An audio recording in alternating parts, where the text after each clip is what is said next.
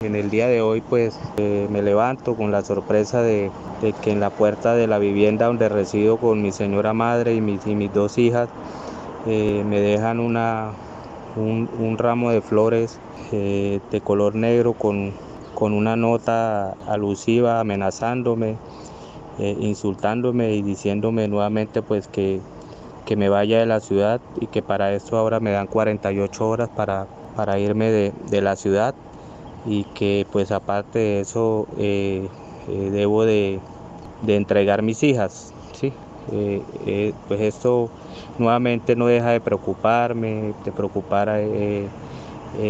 mi familia, a mis dos hijas que están muy, muy agobiadas, muy asustadas, mi señora madre, mis hermanos, mi familia y los amigos también.